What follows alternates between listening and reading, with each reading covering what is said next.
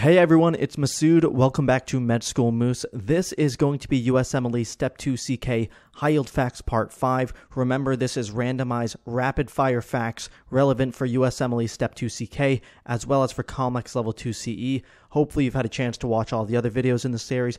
Be sure to subscribe to receive all of these videos as well as my additional videos. That being said, let's get into it. What is the best initial test to diagnose mesenteric ischemia? This is going to be a CT scan of the abdomen.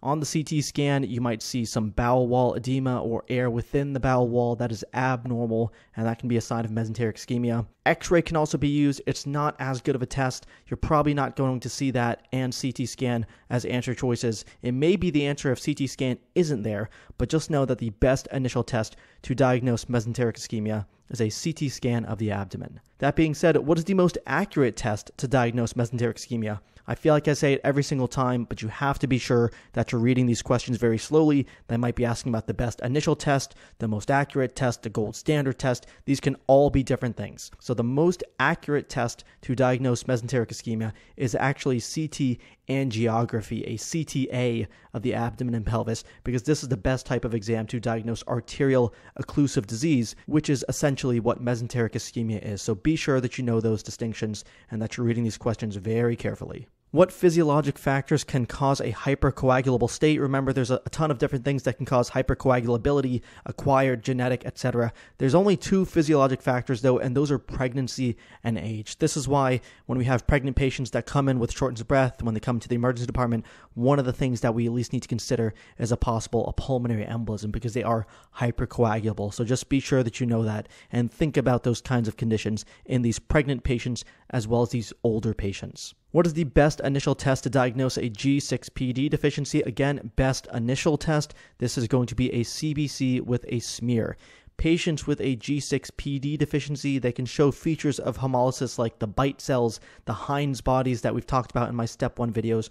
Remember, Heinz bodies are inclusions of damaged hemoglobin within red blood cells. So if you do the smear and you're able to see those cells, that is the best initial test for diagnosing a G6PD deficiency. Getting into some ortho here, what is a Monteggia fracture? This is going to be a fracture of the proximal ulna as well as a subluxation of the radial head. You may remember that Mugger mnemonic from when you were studying for step one. We're going to touch on that in a minute. But of course, the next question has to be what is a Galeazzi fracture? That is the other fracture associated with this. This is going to be a fracture of the radius with dislocation of the radio-ulnar joint. So that Mugger mnemonic, you know, the M and the U are next to each other. So Monteggia is a fracture of the ulna, and then the G and the R are next to each other. So Galeazzi is a fracture of the radius. And here is your visual stimulus. This is the Monteggia fracture. Obviously, you can see the fracture of the ulna and the subluxation, the dislocation of the radial head here. This is the Monteggia fracture. And then this is going to be the Galeazzi fracture. This is going to be the fracture of the radius, which you can see right here, as well as the dislocation of the ulna. So be sure that you know the differences between those two types of fractures. What is the most accurate test to diagnose osteomyelitis? The most accurate test is going to be a bone aspiration with gram stain and culture. Remember, osteomyelitis is typically a clinical diagnosis at first. That's usually sufficient for management to start antibiotics, but the most accurate test is going to be an aspiration and a gram staining culture to actually see uh, that bacteria growing within that bone sample. What two electrolyte abnormalities are seen in rhabdomyolysis? This is going to be hyperkalemia and hyperphosphatemia. Remember when you have this rhabdo, a patient that's been out in the hot sun for a while, they're not drinking water, a patient that's just ran a marathon, something like that, they're going to have this muscle breakdown, this muscle necrosis, and they can develop hyperkalemia as well as hyperphosphatemia. Remember, anyone that's into the emergency medicine side of things, the hyperkalemia is the thing that we worry about the most, can cause a lot of heart problems, a lot of cardiac issues. So that's something that needs to be managed, and that can be seen in rhabdo. What is the most frequent presenting symptom of tuberous sclerosis? This is going to be seizures. Remember, tuberous sclerosis is an autosomal dominant condition characterized by those ash leaf spots, the hypopigmented lesions, which we've absolutely talked about in my USMLE Step 1 high yield images videos. The most frequent presenting symptom of this condition, though, is going to be seizures. Let's talk about kids now. At what age do children usually develop a pincer grasp? Remember the pincer grasp, they're able to kind of use their thumb and their index finger and grab really small items, and this usually occurs at around 12 months or so. Another question that I have here at what age can children usually copy a circle? This is going to occur at about three years. Remember, there's a lot of different developmental milestones that are relevant for step one as well as for step two to kind of ensure that children are developing appropriately. Let me know in the comments if you want me to make a separate video covering these developmental milestones because there's a lot of different ones, there's a lot of different categories, uh, but I'm just covering a few of them here. So children can usually copy a circle, they can usually draw a circle at about three years old. Another one that I have here at what age do children usually begin rolling over? This is typically around four to five months. The reason that this one is particularly important is because this can be seen, and it's a really important question to ask in cases of non accidental trauma, also known as child abuse. The classic vignette is you have uh, parents bring a child in, they said that they fell off the bed, but they're only two or three months old.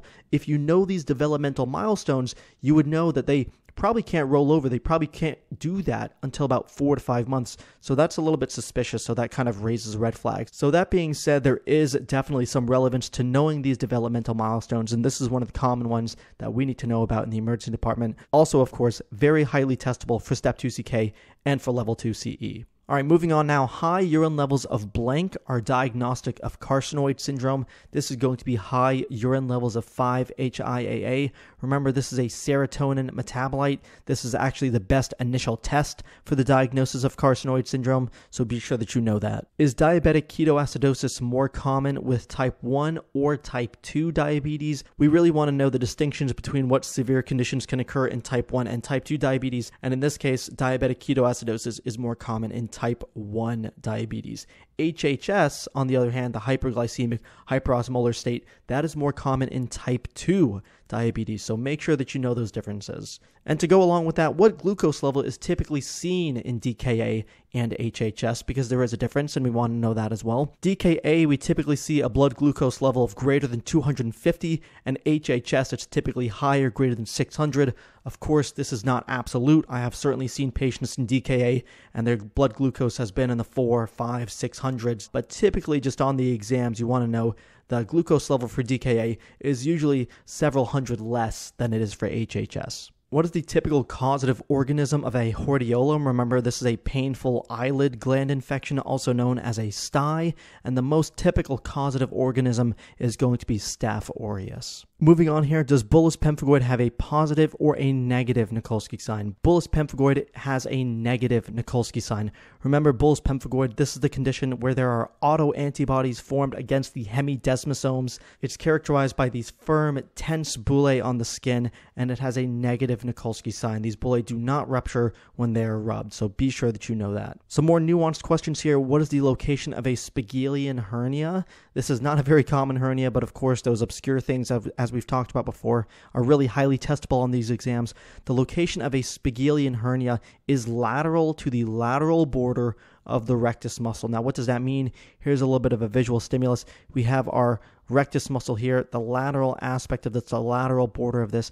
This is where we're going to see the Spigelian hernias. You see it's kind of pointing that out right in this area here. And now, what is the etiology of an epigastric hernia? This is going to be due to weakening of the linea alba. Going back to that same picture, we have the linea alba right here in the center. Of course, epigastric hernias typically occur in the epigastric region, and it's because of weakening of this tissue right here of the linea alba. Guys, as always, thank you so much for watching. Click here on the left to watch Step 2 CK High Yield Facts Part 4, and click here on the right to go all the way back to the beginning and watch Step 2 CK High Yield Facts Part 1. Be sure that you're subscribed to receive all of my latest videos, and I will catch you in the next one.